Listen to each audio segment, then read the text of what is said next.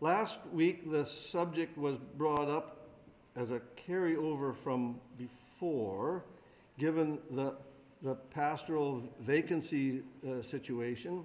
Uh, what, what would you, what would you as a congregation, what would you like in a, in a pastor? And the, dis- the, the distilling answer in the end was somebody who is faithful to Scripture.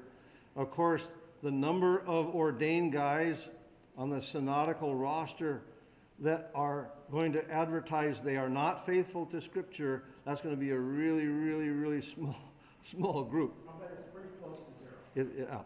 Uh, so, but I thought I would turn it around a little bit uh, to give you uh, another perspective on the subject uh, of a, of a congregation looking for a pastor to come and be the pastor of your congregation. So here's, here is the question. Last week's was what kind of a what, what do you want in a pastor? What kind of pastor do you want?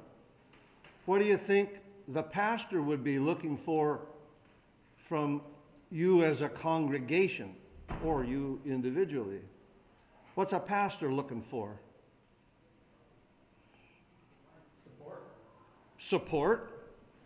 What kind of support? it's a broad topic, but both spiritual support and, um, personal and familial support.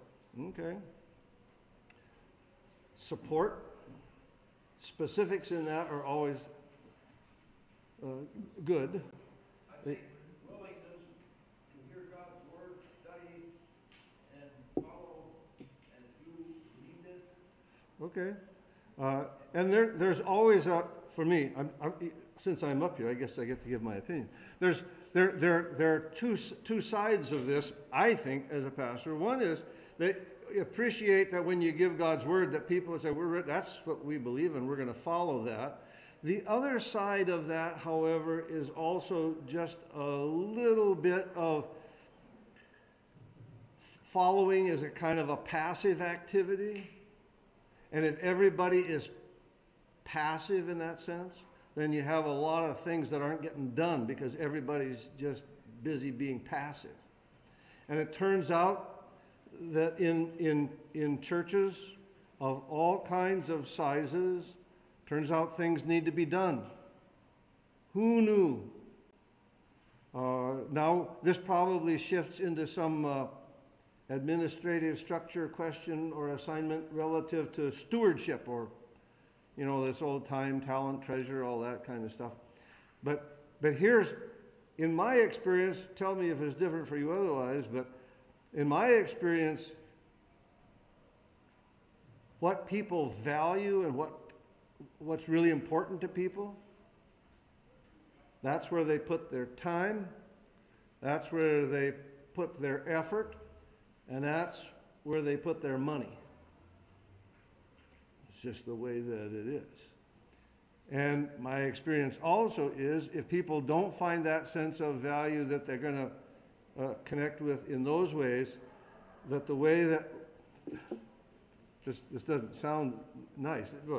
How do, how do people vote on these matters ultimately? They leave.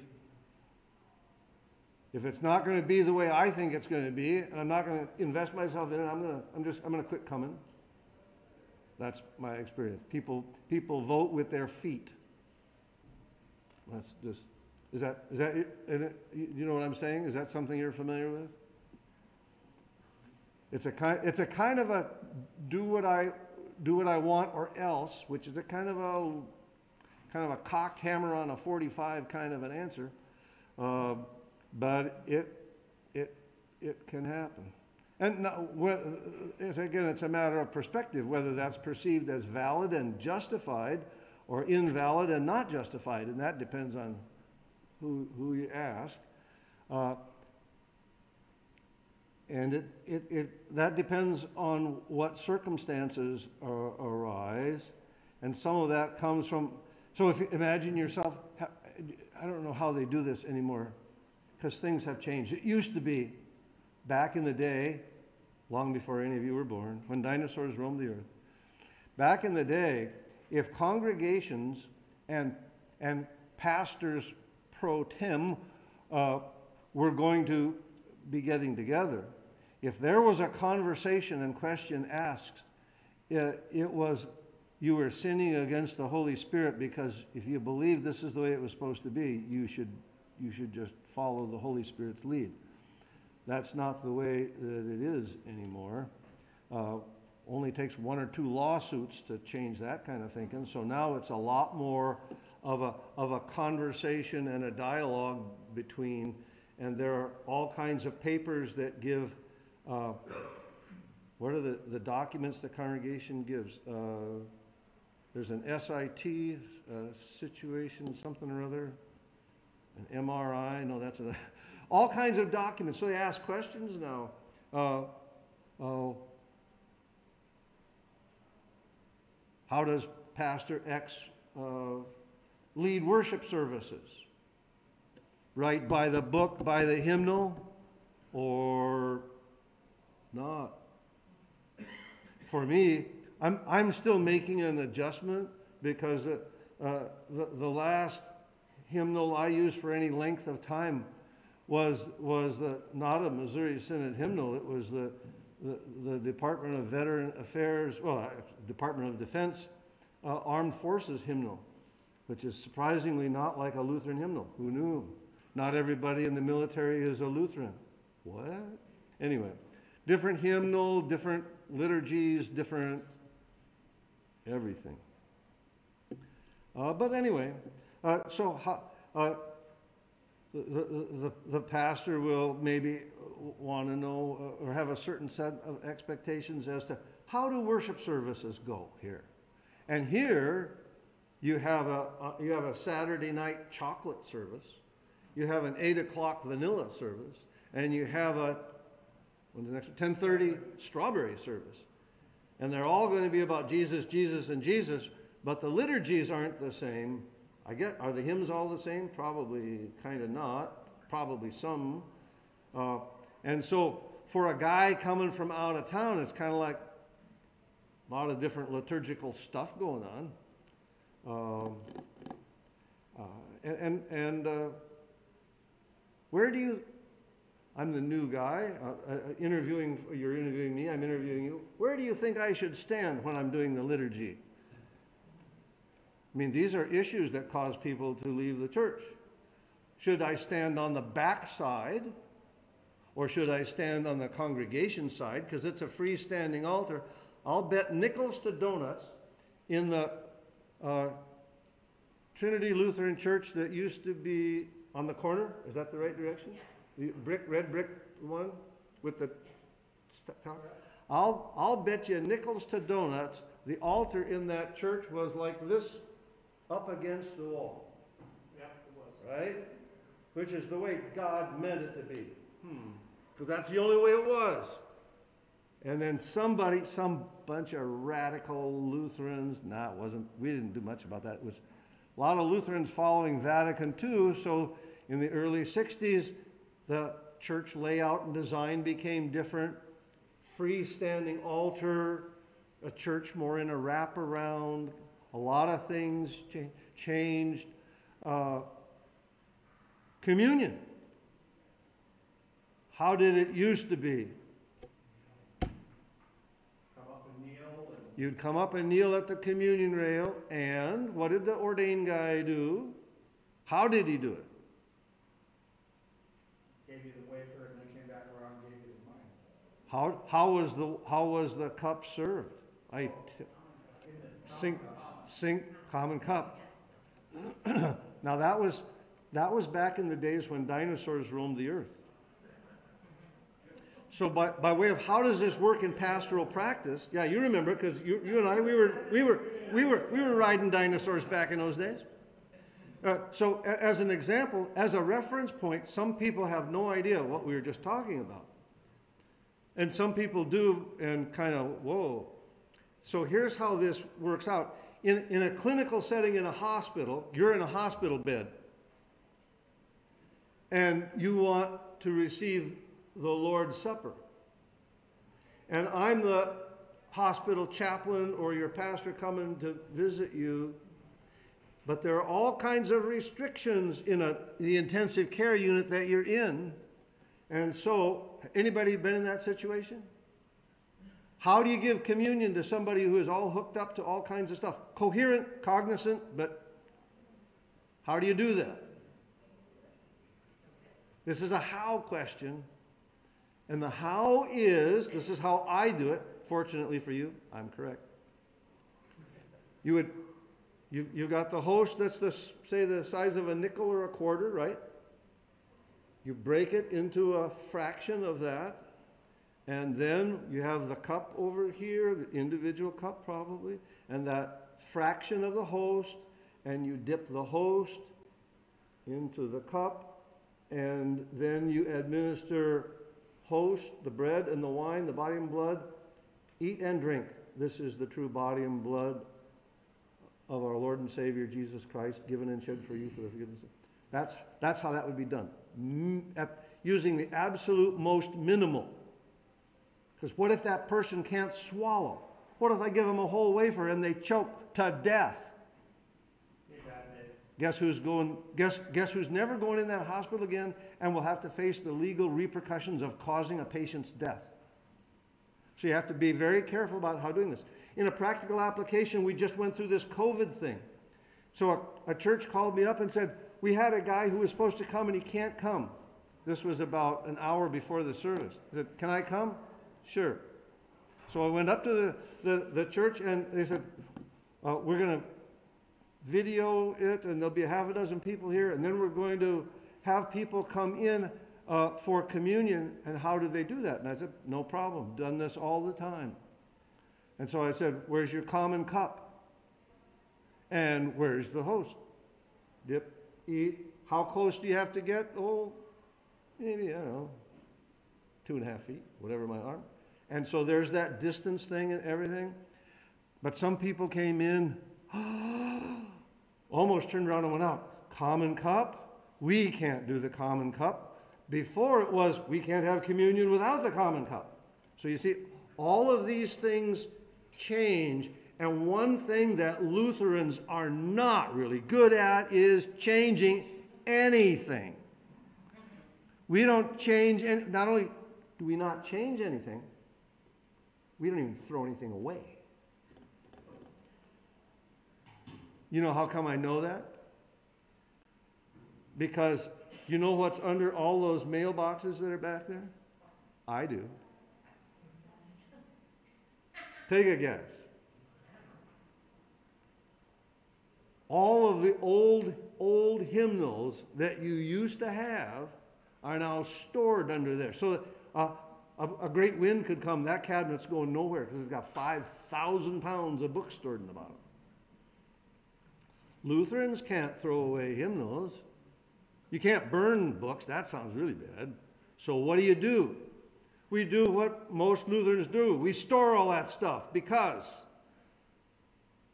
because it takes up floor space and we need to use it for something. No, we so so a pastor by walking around, you can tell a lot by a church by what you see when you walk around. Or when I walk around and I open up cabinets and find out, oh, 5,000 really old hymnals. What does this mean? It means we don't throw away old stuff. Old stuff stays. Like you and me, old stuff, we stay. There's another thing.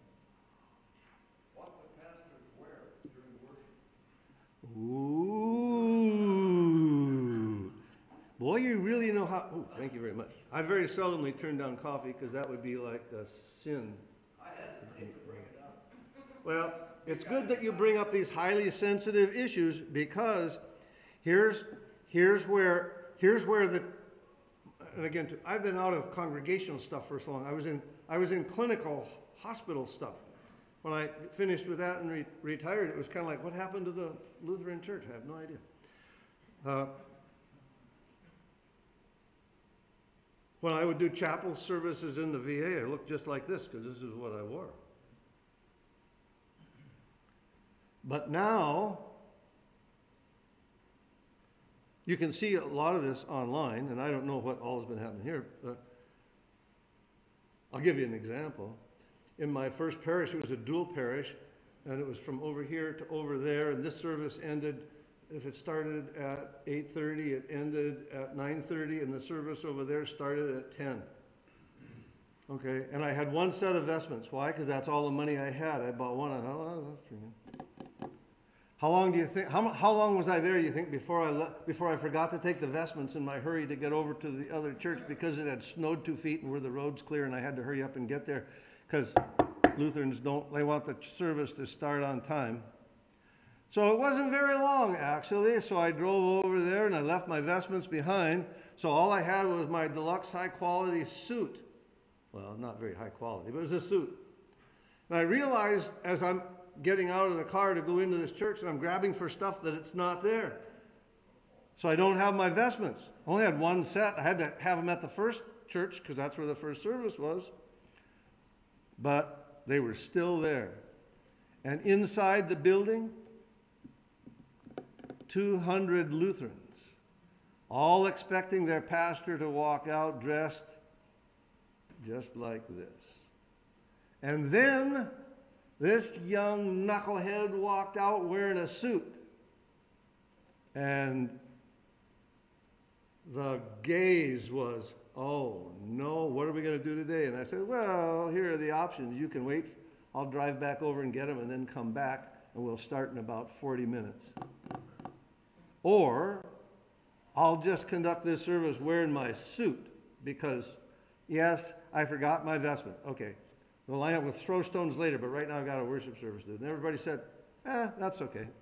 After they got over the initial shock, they thought it was okay because it was exceptional because I'm a knucklehead. I forgot to pick stuff up and carry it. That's a pretty hard thing to remember to do, but I was able to do it.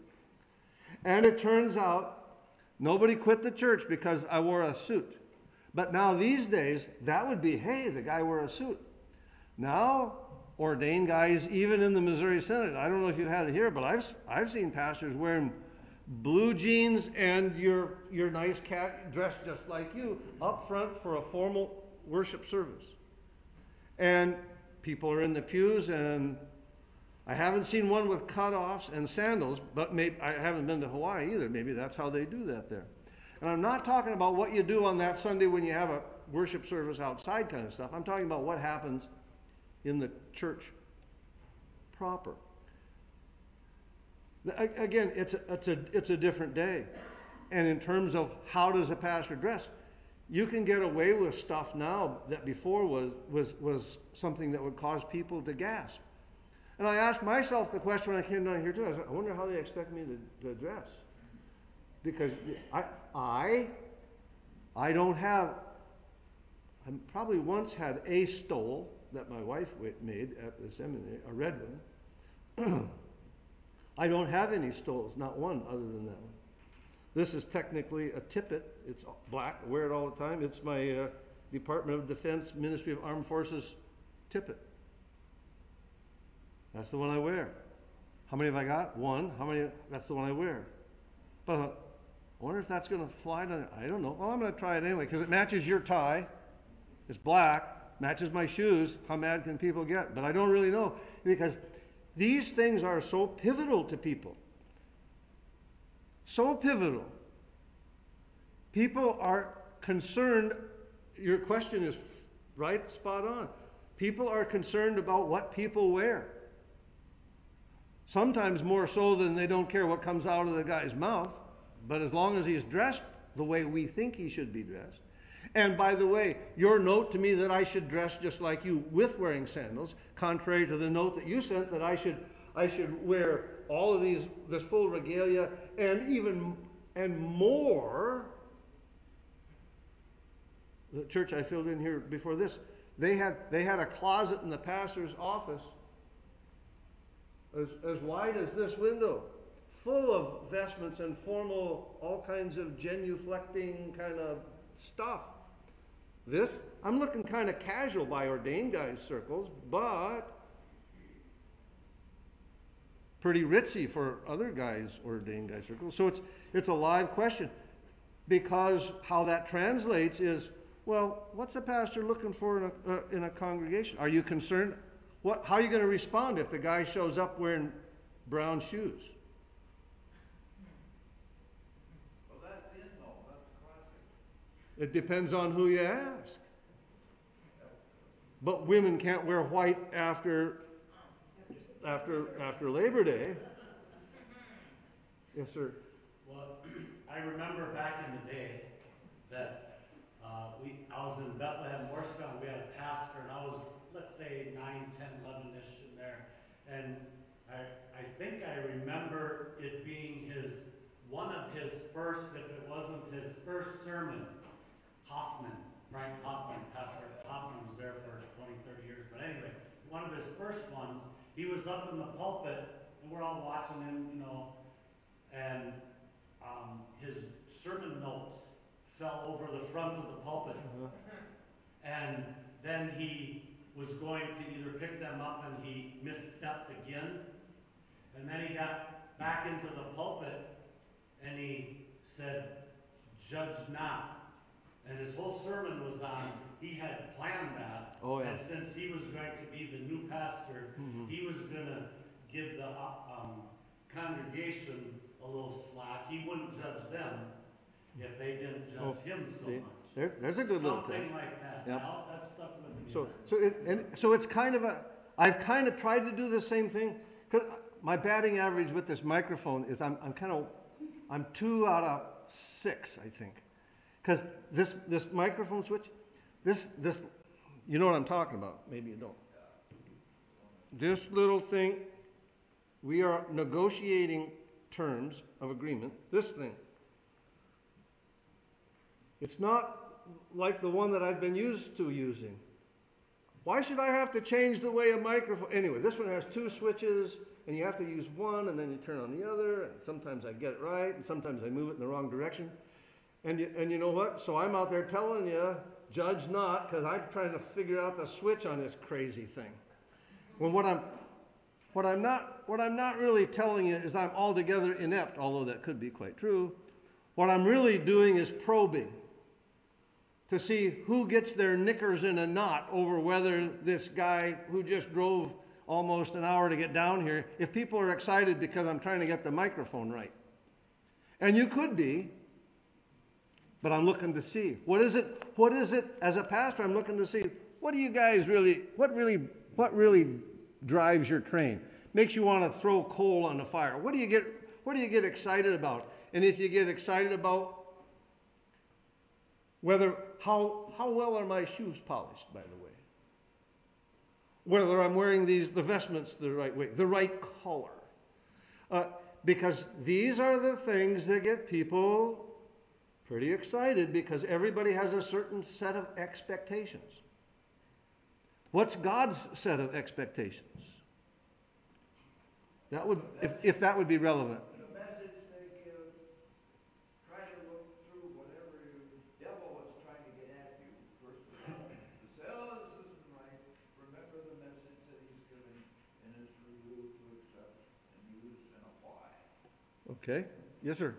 Well, some people look at it as the altar being the holy of holies, and the God expects them to dress their best because they're in this holy area. Y- Yep, And then you get another pastor that is the place to set your coffee stuff. Yeah, and, and, and so, uh, uh, and this isn't a new issue. Uh, I, I remember discussions about this kind of stuff at the seminary. One, one guy is a student, classmate of mine, wrote a 30-page paper on this, uh, what, what the dimensions of an altar should be.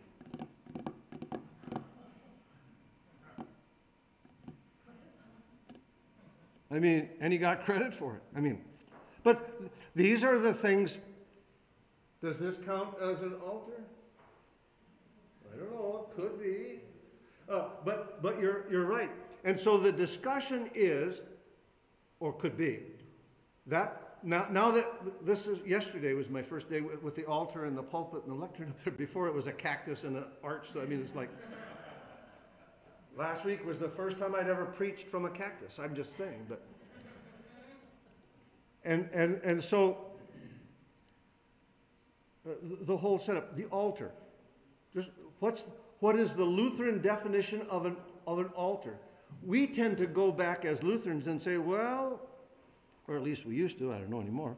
It used to be, we'd say, well, what was an altar in the Bible and what was it used for? And the answer would be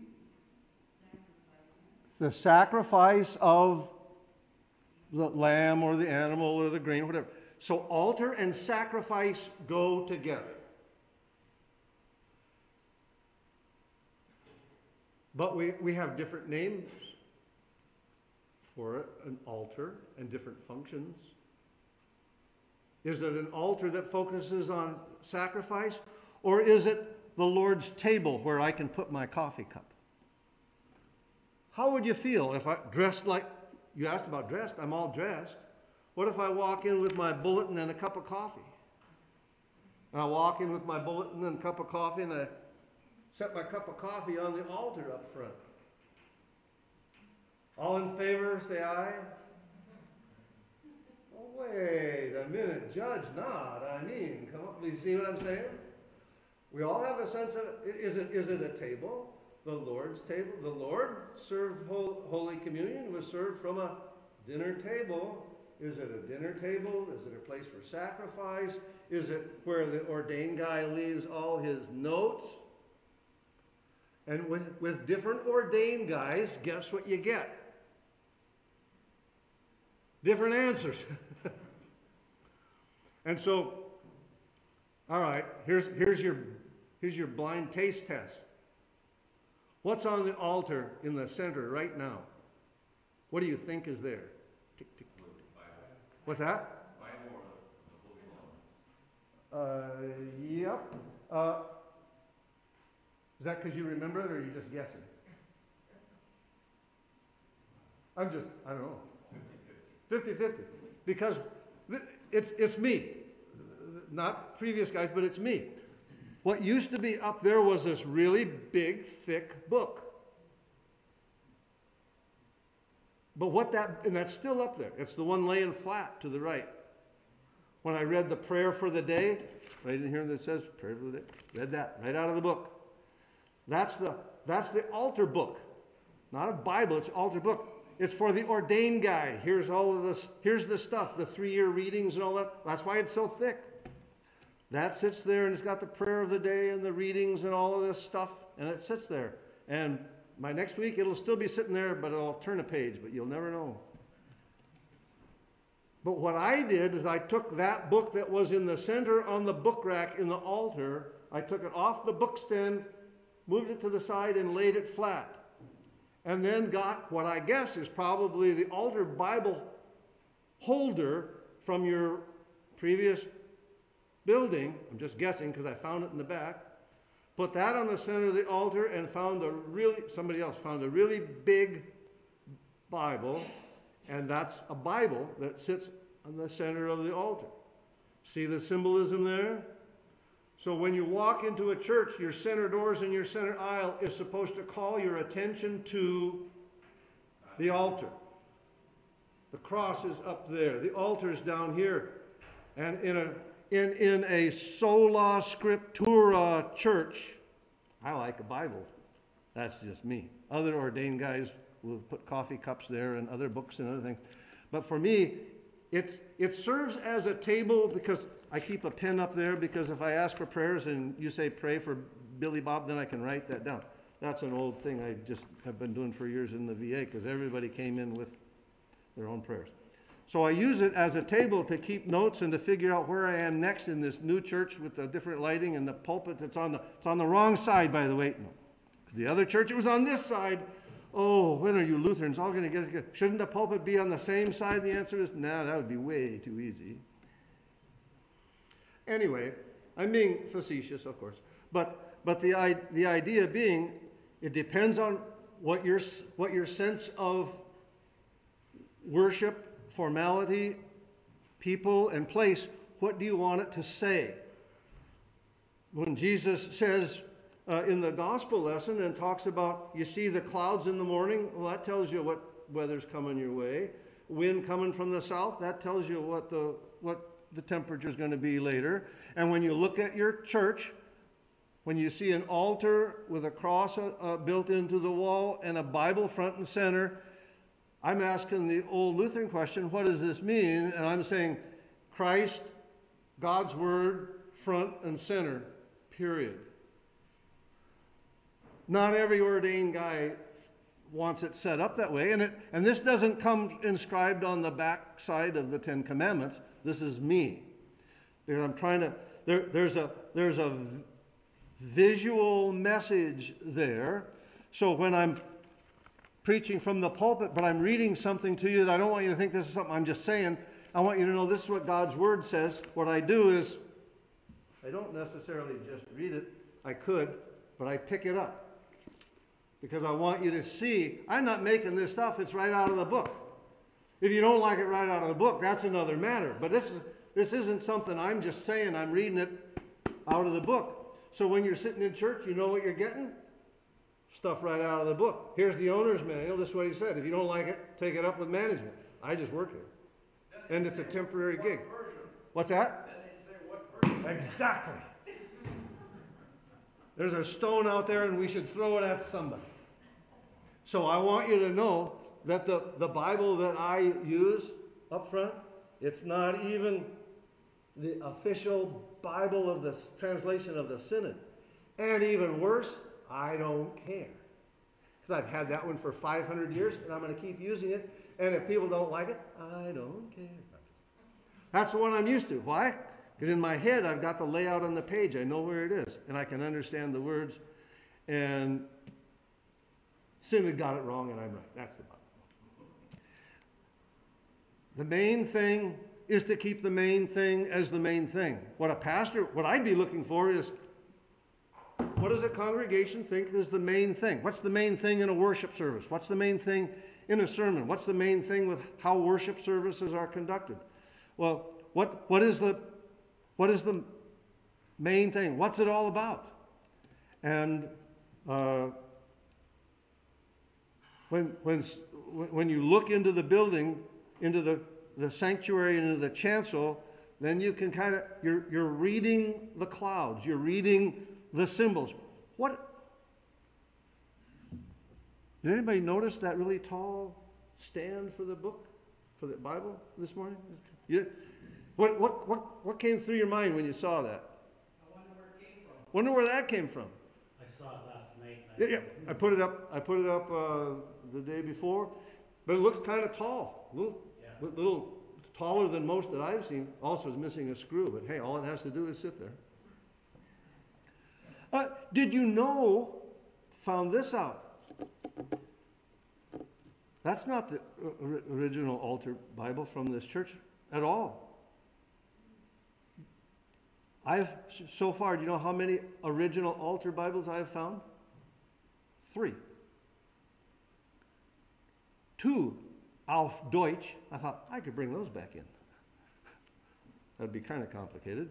Partly because the covers are falling apart. They're wooden covers wrapped in leather, and the bindings are in Polish kaputski. But the last one, the third one is, it, the cover is also in really bad shape, but it's in English. I'll bet again, nickels to donuts, that when the change happened from that building to this building, from an altar up against a wall to a freestanding, I'll bet you that's when that altar Bible went into a closet. Uh, not saying that's problematic, don't, don't know. Uh, wonder if there's such a thing as a liturgical lazy Susan, so you can put the Bible up there and spin it around if you're at the other side. I don't know. I just think this stuff up, and then somebody from CPH will say, "No, we're not going to make that. Shut up. Go back to work." But anyway. So, it, but it, it depends on where you're going to stand.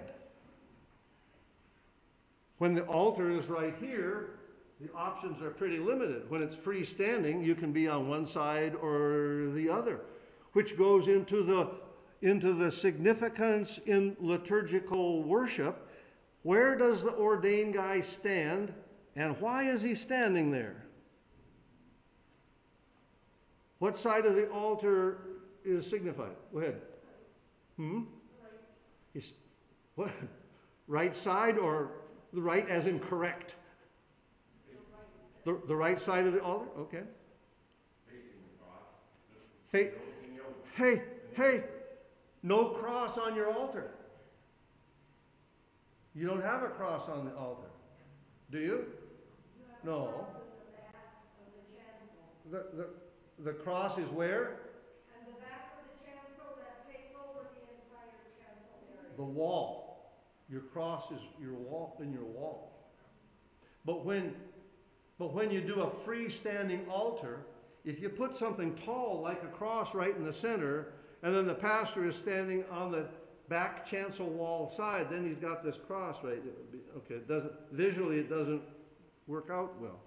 So then you have to, some churches suspend a cross, this one built into the wall, but that's what happens when you do this reconfigure of design. But in this kind of a, a, a structure, even when you have a freestanding altar, what's the, as in the definition of altar, what's its function? When, when the pastor is standing on this side and he's doing, why am I turning around all the time? What does that signify? There, all of this is by design. This is not flupenstance. Well, it could be. When you face us, God is speaking to us. When you face the altar, you're bringing petitions to God. Right, so when I'm, when I'm looking at you in the congregation, and I'm saying, in the name of the Father, Son, and Holy Spirit, and I'm saying, oh, by the way, your sins are forgiven, I'm talking on God's behalf to you. And when it's the prayer of the day, I'm facing this way because the function of the pastor is to act and speak on behalf of the congregation to God. Because in the flow of the worship, you could do this with the hymnal. Don't use a pen. If you do, don't tell them I said this. But when you take a look at the liturgy, oh, we can use this right here. Let us confess our sins to God our Father. I read that. Was I facing you or the altar? I was facing you. Then when we began the confession, I turned around this way and we made our confession because that's addressed to God. We're making the confession. So the flow, the direction changes. And so the position of the pastor relative to the worship that's going on also tells a message I'm talking to God for you or I'm talking on your behalf to God. That's supposed to be the symbolism that is inherent in that. So we could turn it the other way around, and I could, uh, from the pulpit, preach from this side and preach to the back wall. How would that work? Loses something. But you see, all of a sudden, body language tells a whole story. And these are things that pastors are looking for from a congregation. How do you guys how do you guys do things here? Because wherever if, if he's at a congregation somewhere, you know how they do it? It's kind of like this, but not. And so how how is it going to work to make that adjustment? I don't know if I told you, I saw I saw a guy online the other, he's a Missouri Synod guy. You know how they start the service? We could do that here. Uh, uh, uh, an assistant comes up, uh, this would be the assistant comes up over here to the side and rings the, and chimes the bells. Ching, ching, ching. And that's the way, everybody pay attention, the worship service is gonna start. And then the pastor comes out, Missouri Synod guy, and then he, then he genuflects like that, and then he turns, and then we begin. What do you think? Huh? Huh? See? All of, or, or you can get somebody who shows up in, in, in, in sandals, white socks, cut off shorts, and, uh, and a sweatshirt. That, all that stuff is out there. All of it. And, and they're all Missouri Synod guys, probably, too. So, what, what pastors are looking for in a congregation, what's, what's the stuff that's really important to you?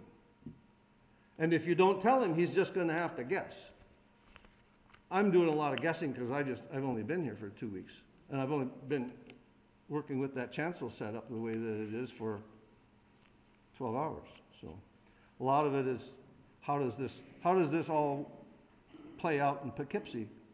Uh, because the way, the way that the church is set up and the way it functions is a, an expression of how the congregation views worship. And worship is something that Lutherans, we're, we're big on worship. And, and, and we are sometimes hesitant to be, uh, well, we know, we kind of know what we want, and we kind of know when we see it, that if we don't like it or not, not exactly what sure, what it is. Page five and page fifteen seemed a little bit narrow. I mean, come on, isn't there something, yeah. This, the current hymnal has only about thirty or forty liturgies in there, uh, so we've got plenty. Um, uh, so the question is, what are we going to do? How are we going to do that? Because these are all, uh, from the outside coming in as a pastor for the guy that you call, these are, he, uh, he's going to look at, look at, look at your bulletins because your bulletins tell the story. How does Trinity Lutheran Church worship? What's it like? And the answer is, well, here's hard documentation. This is the data. So, uh, you can read the newsletters. That's what we're like. You can read the bulletins. This is what we're like. Uh, he can, now these days, knucklehead me, you can watch the congregational worship services online or listen on the radio. How is it going there? Now the radio that doesn't tell you as much about interaction, uh, and up front uh, on a on a live streaming or just streaming, it's it's uh, you're kind of seeing how the guy does it who's up there, and that kind of is a tell depending upon who the guy is that's up there.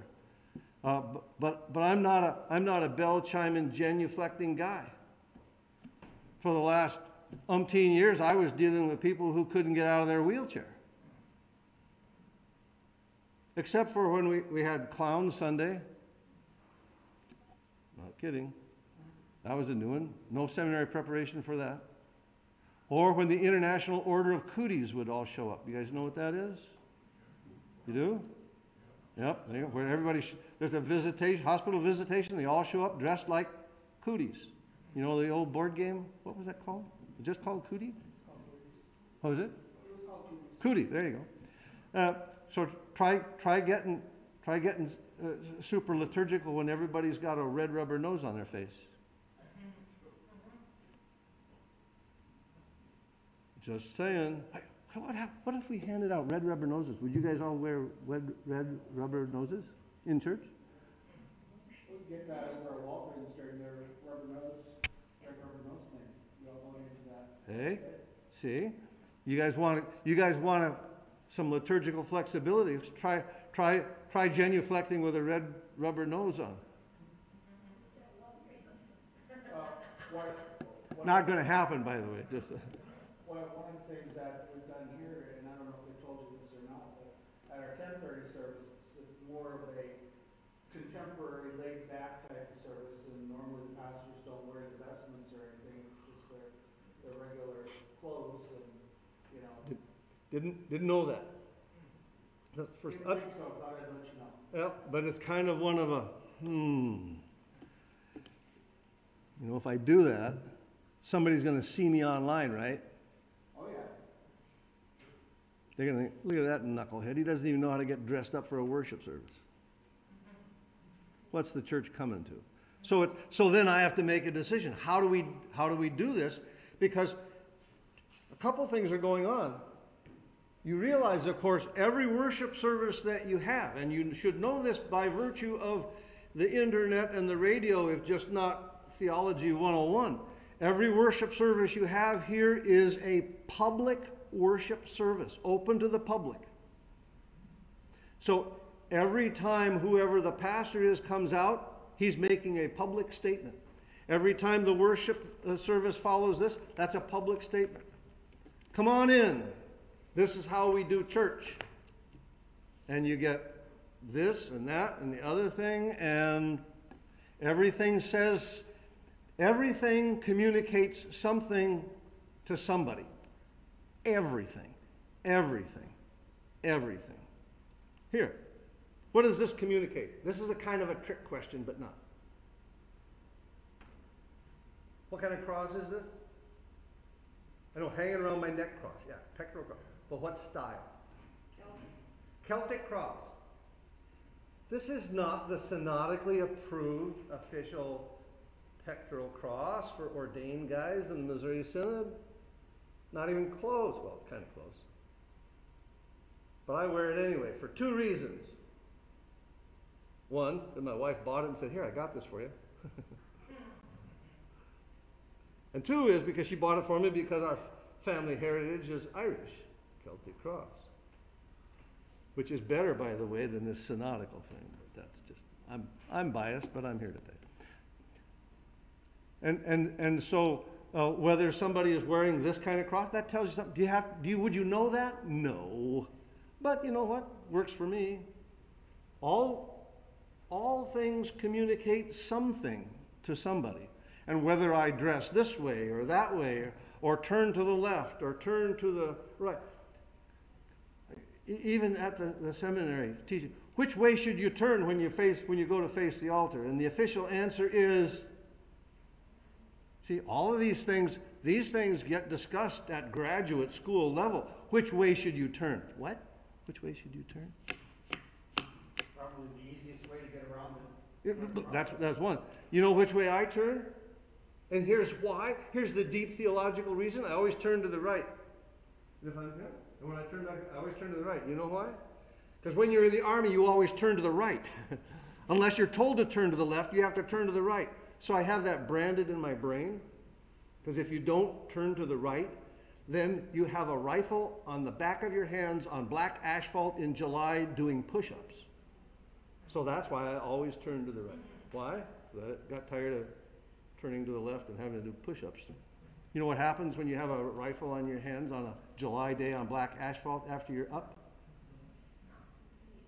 Now they would go to jail for doing that. In those days, they thought it was fun. Anyway, so these are all backgrounds as to how things done, but congregations come, uh, pastors coming into congregations, they're looking at people and how do you do things and what's significant. That you preserved your windows from the old church, that tells a story. I think that's kind of great myself. Um, so, like, uh, you've heard the expression for police, read the streets? Like the gospel lesson, read the sky, read the signs. Pastors coming in, they're going to read the congregation. I was asked to preach at a congregation in northern Wisconsin once, and I said, I don't want to come, I got other stuff to do. Come up here, we want, uh, anyway, so I went up there. They're getting ready to have this worship service, and I said, I just wore a clerical collar and a sweater. Because I was kind of upset, because I said, I told you I didn't want to come here, then you, you just mailed a ticket to me. Okay. So A, I wasn't in a good mood. B, they didn't do what I told them to do. And C, I felt obliged to do it because they already spent a couple hundred dollars on a ticket. And D, I didn't have my vestments with me because I was out of town at the time. Anyway, so I showed up and the guy said, the guy said, where are your vestments? I said, I didn't bring any. He's like, well, now what are we gonna do? I said, probably call off church. He said, he's, so he went into his closet and he, and he, and he, and he brought out his old vestments. And these were, these were white, and they were so old that they were turning yellow. They were dirty and from age, not brown and yellow, browning and turning yellow, like fabric does, especially white. So he said, Well, here, you can wear this. And I said, I tried to be nice. I said, No thanks. Well, you can't walk out of the sacristy where you get vested and go out in public for a worship service and not wear vestments and be a Lutheran at the same time.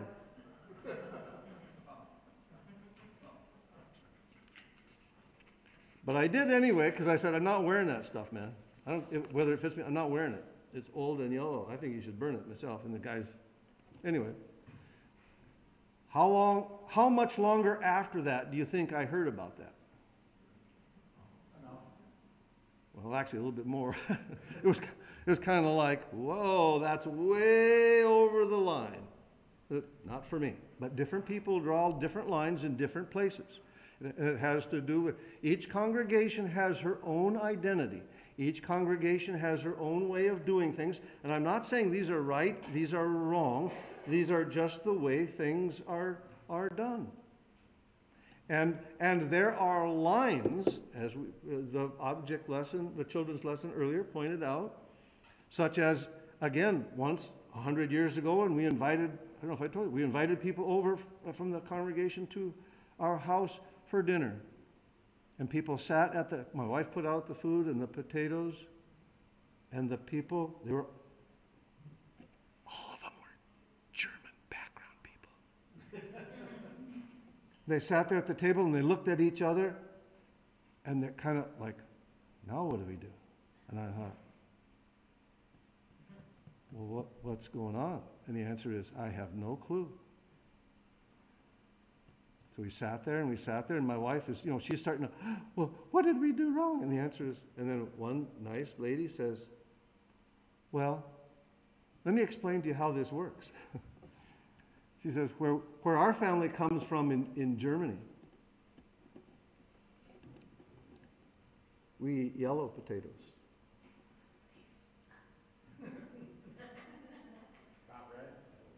Well, these were white. You know what we do with white potatoes? We feed them to the hogs. Oh, so you know what we just did? We told, the we told the German people in our congregation, we're gonna, we're gonna feed you the same slop that we feed the hogs with. Because, because my wife served white potatoes, mashed potatoes, like, how would we know? Now, the people were very, very, very, very gracious. You know what they did? They sat at the table and ate white potatoes. But the pastor and his wife gave them pig food. Got two minutes? I'm just saying. So, the, it, how would I know that? My family background is Irish. We were just glad to have food. Uh, and, and so, a, pastor coming in, what's he looking for? He's looking for the identity of the, I think, looking for the identity of the congregation. Who are you? What are you like? Are you nice? Or are you nice between 10, 15 and noon? Or, or, or not? What are, you- what are you going to do? What are you going to not do? What if he dresses the wrong way? What if he says the wrong thing? What if he, what if he invites you over and serves white potatoes to you? What's going to happen? The answer is he doesn't know, but he's looking to find out because he doesn't want to start World War III. But you can you can almost do that by serving the wrong food. It can work the other way. The guy who was my successor uh, sh- showed up, and and and they were. You can only eat really, really, really healthy food. People, by golly. So German meat and potatoes isn't gonna be the.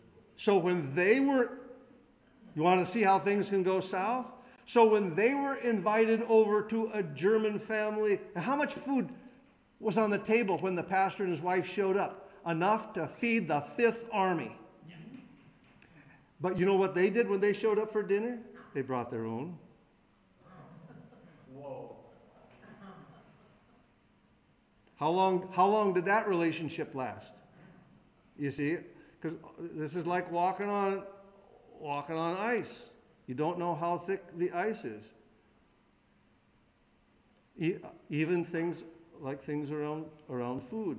So it's a, a sensitive kind of a thing, and it's, it's not hard to get it wrong. It's, it's tricky to get it right because expectations differ. The operational premise in the catechism says to put the best construction on everything. But let's not jam up